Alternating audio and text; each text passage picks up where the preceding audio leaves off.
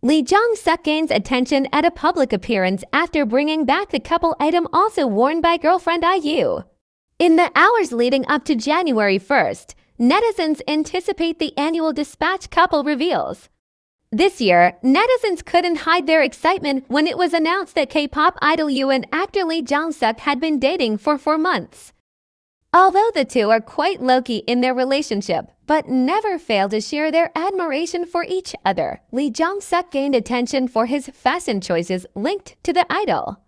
On March 9 KST, Lee Jong-suk made an appearance at an event for the fashion brand Bottega Veneta. As expected, the idol looked phenomenal, and netizens couldn't stop gushing about his visuals. As amazing as his appearance was, one thing that both netizens and Korean media couldn't get over was the Bottega Veneta bag he was wearing.